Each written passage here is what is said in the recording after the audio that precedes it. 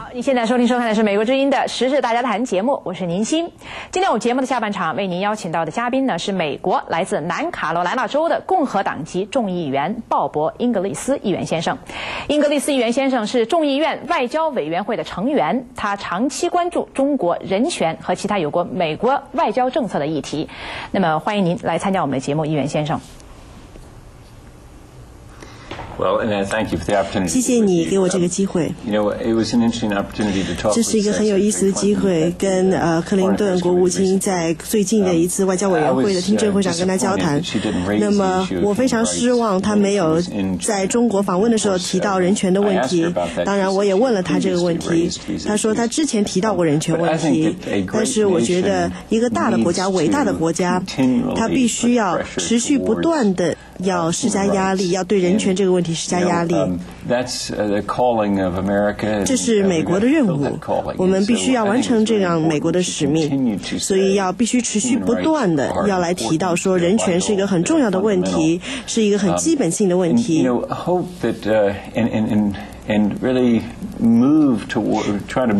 我们也希望能够推动中国向这个方向努力。一个伟大的国家，并不是说是一个就是一个富强的国家。那这些只是物质。如果你只是拥有许多物质的话，这并不让你成为伟大。要成就伟大的话，你必须要有一些伟大的原则，而且要能够完成这些使命和原则。那么当然，我们有的时候都会失败，但是如果失败的时候，我们会重新做出承诺，再继续前进，这才使你成为一个伟大的国家。所以，我们现在也需要美国这个国家要把这些概念出口出去。我也希望在中国，我们可以在这方面做得更多。那您能告诉我，您在中国的人权问题方面，您最关注的是中国哪些方面的人权？呃，问题就是说，哪些您觉得中国践踏人权的状况或者是事件是您最关注的？我觉得让我最担忧的呢，就是包括我的个人经历有关。那么，我跟国务卿克林顿也谈到过这件事情，那就是强制堕胎的问题。强制堕胎的问题是非常的让人悲悲伤的。我也知道有一个小孩儿，一个学生，他其实是呃，他自己就是等于说是非法的二胎，然后我就听说他自己的故事，然后他父母受到的遭遇，所以我就想到我的这个朋友，我这个朋友他可能会以前会被杀死，或者说是几乎要被政府杀死，因为他他们政府一直在追踪他的母亲，但他母亲最后还是生下了他，所以。这个问题就变得对我来说非常真真切切，所以这是我最关切的一个问题。所以当我在跟国务卿克林顿交谈的时候，我们怎么可以不跟中国谈这个强制堕胎的问题呢？我们美国作为一个伟大的国家，怎么能够不说这个做法是错误的？然后来寻找任何一个机会，想要来说服中国政府来减呃改变这种政策。所以这对我来说是非常非常重要的。那么，它对生命很重要。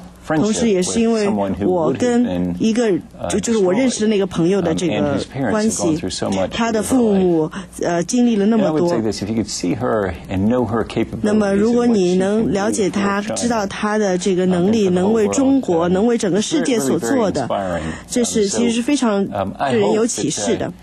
我是希望中国。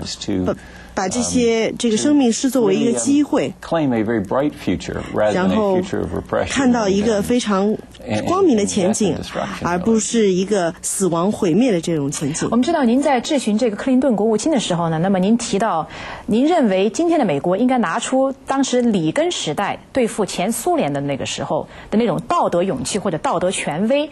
来对付今天的中国，或者应对中国的人权问题。那么我想问的是，那么您认为当时的美苏关系和今天的中美关系或者美中关系，您觉得是可比的吗？您觉得相互之间可以作为一个比较吗？很有意思的问题，我不知道。那么跟这个前苏联跟美国，它是非常非常分分就是分隔的，没有什么关系的。但是现在呢，中美之间的联系非常的紧密。那当然，这对两国都是有利的。但是就我来说是，当我们从中国的产品中获益的时候，我们也需要来提出问题，说这个产品是怎么制造出来的，它的工作条件是怎样的？那么他们卖那么那样的廉价，这样做法对吗？是不是有人而因此受到了伤害，在这个过程中受到伤害？那如果受到伤害的话，那么我们也有这个责任要问出这个问题，说我们必须要来看一下人权的这个问题。所以这是一个很有意思的差别，就是美苏关系和美呃在冷战间美苏关系以及现在的这个美中关系，因为美中关系的商业量很大。One of which the United States believes that 那么美国也相信，can only really have free enterprise and creation of wealth 那么你只有个人自由才能创造出财富。但是另外一个国家中国，他是觉得要控制他们的人民。他想要来崛起，但是却不关心人权的问题，所以这对我来说是一个很大的一个担忧。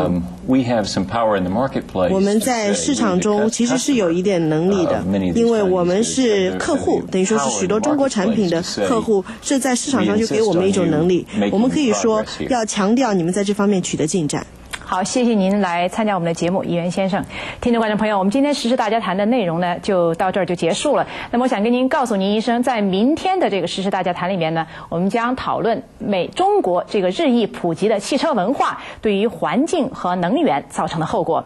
欢迎您发电子邮件到 Chinese at voa news 点 com 来就这个议题呢提出您的问题或者发表您的评论，我们会在节目中呢请嘉宾做出回应。